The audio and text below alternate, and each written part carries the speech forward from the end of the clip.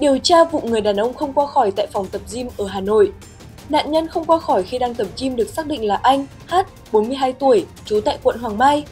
Tối ngày 20 tháng 10, trao đổi với phóng viên, đại diện lãnh đạo Công an quận Hoàng Mai, Hà Nội cho biết, theo thông tin trình báo, khoảng 18 giờ 26 phút ngày 19 tháng 10, mọi người trong phòng tập gym trên địa bàn quận Hoàng Mai phát hiện anh H có biểu hiện đột quỵ. Sau đó, nạn nhân được đỡ đặt xuống sàn phòng tập rồi thực hiện việc sơ cứu. Ít phút sau, các y bác sĩ đến hiện trường tiếp tục thực hiện việc sơ cứu nhưng nạn nhân đã không qua khỏi. Người thân của nạn nhân sau đó đã đến phòng tập, yêu cầu được gặp quản lý và nhân viên có mặt tại thời điểm nạn nhân không qua khỏi. Tuy nhiên, những người này không xuất hiện. Hiện, vụ việc đang được Công an quận Hoàng Mai điều tra, làm rõ. Bình Dương phát hiện người phụ nữ dưới sông sau 3 ngày mất tích. Khoảng 14 giờ ngày 19 tháng 10, trên sông Sài Gòn, đoạn qua bến đò Phú Cường, thành phố Thủ Dầu Một, người dân phát hiện một nạn nhân trôi dưới sông nên kéo vào bờ rồi trình báo cơ quan chức năng. Nhận được tin báo, công an thành phố Thủ Dầu Một có mặt, vớt nạn nhân lên bờ để điều tra.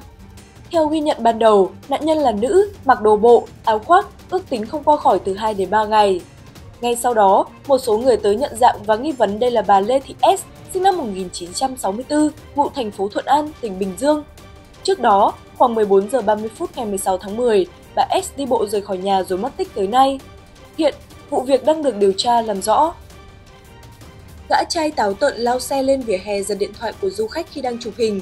Ngày 19 tháng 10, Công an thành phố Huế cho biết vừa bắt giữ đối tượng Mai Duy Long, sinh năm 1995, trú tại phường Phước Vĩnh, thành phố Huế, tỉnh Thừa Thiên Huế về hành vi cướp tài sản. Trước đó, khoảng 19 giờ ngày 18 tháng 10, một du khách đang cầm điện thoại iPhone 14 chụp hình cho bạn đang tạo dáng trên hè phố đường Lê Lợi, thành phố Huế. Bất ngờ bị đối tượng chạy xe máy lên vỉa hè, chờ tới giật chiếc điện thoại rồi dồ ga chạy thoát. Ngay sau khi nhận được tin báo, Công an thành phố Huế đã nhanh chóng phối hợp với phòng cảnh sát hình sự truy xét. Chỉ trong thời gian ngắn, lực lượng công an đã xác định được đối tượng gây ra vụ cướp táo tợn là Mai Duy Long. Được biết, đối tượng Long đã có một tiền án về tội trộm cắp tài sản. Hiện, công an thành phố Huế đã tiến hành thu giữ tài sản và trao trả lại cho nữ du khách, đồng thời củng cố hồ sơ, xử lý nghiêm đối tượng theo quy định của pháp luật.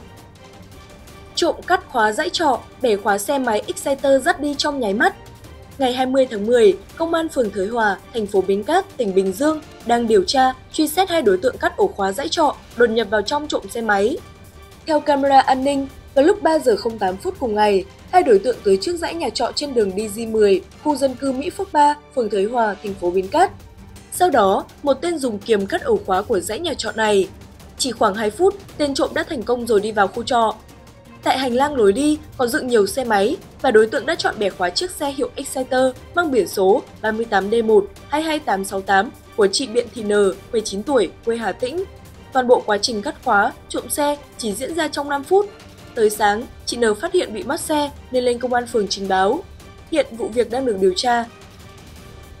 Thủ đoạn phong bạt lừa đảo trên 40 tỷ đồng của thiếu phụ xinh đẹp Tạo vỏ bọc có các mối quan hệ thân thiết trong và ngoài nước, Nguyễn Thị Hồng, sinh năm 1990, trú tại tổ 12 khu 2, phường Hà Khẩu, thành phố Hạ Long, đã lừa đảo chiếm đoạt số tiền trên 43 tỷ đồng thông qua việc xin cấp giấy chứng nhận quyền sử dụng đất và làm thủ tục cho người Việt Nam xuất cảnh sang nước ngoài để lao động. Theo thông tin từ cơ quan chức năng tỉnh Quảng Ninh, ngày 18 tháng 10, cơ quan cảnh sát điều tra công an tỉnh Quảng Ninh đã tiếp nhận trường hợp Nguyễn Thị Hồng đến đầu thú về hành vi lừa đảo chiếm đoạt tài sản. Theo đó, từ tháng 6 năm 2021 đến tháng 12 năm 2021, Nguyễn Thị Hồng có hành vi hứa hẹn đưa ra thông tin gian dối về các mối quan hệ của bản thân đối với người có thẩm quyền để nạn nhân trú tại phường Bãi Cháy, thành phố Hạ Long, Quảng Ninh tin tưởng chuyển tổng số tiền 43 tỷ đồng cho Hồng để chị làm các giấy chứng nhận quyền sử dụng đất của nạn nhân tại địa bàn phường Tuần Châu, Bãi Cháy, Hà Khẩu thuộc thành phố Hạ Long.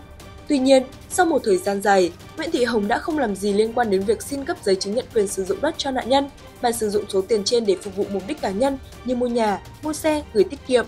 Ngoài ra, trong khoảng thời gian từ tháng 2 đến tháng 5 năm 2024, mặc dù không có chức năng cũng như khả năng làm thủ tục cho người Việt Nam xuất cảnh sang Canada để lao động, nhưng Nguyễn Thị Hồng vẫn đưa ra thông tin chào mời đến nhiều người trong và ngoài tỉnh có nhu cầu đi xuất khẩu lao động để lừa đảo chiếm đoạt trên 3,2 tỷ đồng của 7 nạn nhân. Số tiền lừa đảo chiếm đoạt được, đối tượng Hồng đã sử dụng vào mục đích chi tiêu cá nhân. Hiện, cơ quan cảnh sát điều tra công an tỉnh đã ra quyết định tạm giữ hình sự đối với Nguyễn Thị Hồng để tiếp tục mở rộng điều tra vụ án. Cứu thuyền viên nước ngoài nguy kịch trên vùng biển Vũng Tàu Tin từ Trung tâm phối hợp tìm kiếm cứu nạn hàng hải Việt Nam Lúc 23 giờ 51 phút ngày 19 tháng 10, trung tâm nhận được thông tin báo nạn từ một tàu hàng nước ngoài, thông báo có thuyền viên gặp nạn.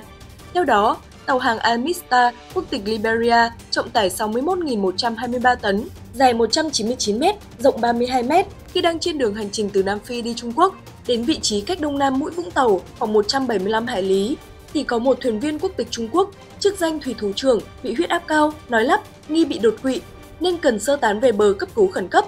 Tàu chuyển hướng hành trình đưa thuyền viên bị bệnh về Vũng Tàu, thuyền trưởng yêu cầu cứu nạn khẩn cấp. Nhận thấy tình hình nạn nhân nguy kịch, có thể nguy hiểm đến tính mạng, dưới sự chỉ đạo của Bộ Giao thông Vận tải và Cục Hàng hải Việt Nam, ngay trong đêm, trung tâm đã điều động tàu chuyên dụng tìm kiếm cứu nạn SAA 413 đang thường trực tại Vũng Tàu cùng các bác sĩ khẩn trương rời cầu đi cứu nạn. Tới 16 giờ ngày 20 tháng 10, tàu SAA 413 đã tiếp cận được tàu có thuyền viên gặp nạn. Tổ công tác lập tức được triển khai lên tàu chăm sóc y tế, thực hiện công tác sơ cấp cứu y tế đối với thuyền viên bị bệnh. Đến 16 giờ 15 phút, thuyền viên bị nạn đã được chuyển xuống tàu SAA 413 an toàn. Nhờ được hỗ trợ kịp thời, nạn nhân đã qua cơn nguy kịch. Hiện nay, bệnh nhân đã được đưa về bệnh viện Pháp Việt, thành phố Hồ Chí Minh để tiếp tục điều trị. Xe đầu kéo chở tôn lật nhào dưới gầm cầu Đồng Nai. Thông tin ban đầu, khoảng 9 giờ 30 phút, nam tài xế điều khiển xe đầu kéo mang biển số 51D 64034 chạy trên quốc lộ 1 hướng Suối Tiên đi cầu Đồng Nai. Khi đến chân cầu Đồng Nai, bên phía phường Bình Thắng, thành phố Dĩ An, tỉnh Bình Dương, tài xế cho xe chạy xuống gầm cầu để quay đầu lại. Trong lúc ôm cua dưới gầm cầu thì phương tiện trao đảo rồi lật nhào. Quận tôn trên xe cũng rơi xuống đường làm mặt đường bị lún sâu. Rất may, có nhiều thanh gỗ đỡ cổ định, quận tôn lại nên không bị lan tự do trên đường. Vụ việc làm nam tài xế bị thương nhẹ ở chân, đầu xe hư hỏng, dầu nhớt chảy ra đường. Nhận được tin báo, công an thành phố Dĩ An có mặt điều tiết giao thông, xử lý hiện trường. Xe cầu cũng được huy động tới để di rời chiếc đầu kéo gặp nạn.